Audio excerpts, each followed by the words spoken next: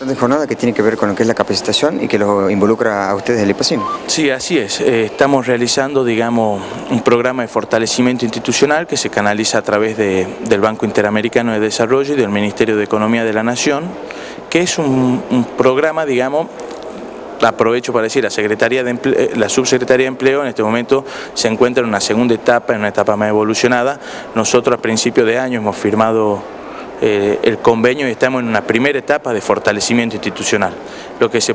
lo que se pretende es eh, que el Estado fortalezca al Estado para que le dé un mejor servicio a la comunidad, donde nos hacen entrega de maquinarias que se usan para el fortalecimiento de la institución. Servicios informáticos, capacitaciones, manual de misiones y funciones. Es una inversión que el Estado Nacional hace en el IPACIN de 1.700.000 pesos en insumos y herramientas, por decirlo así,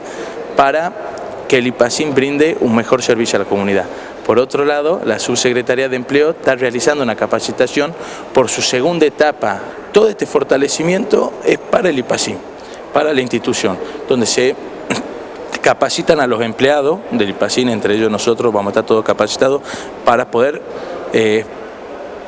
dar un mejor servicio a la comunidad, vamos a tener máquinas nuevas para poder con un nuevo servicio informático a través del cual lo que vamos a lograr es brindar un mejor servicio,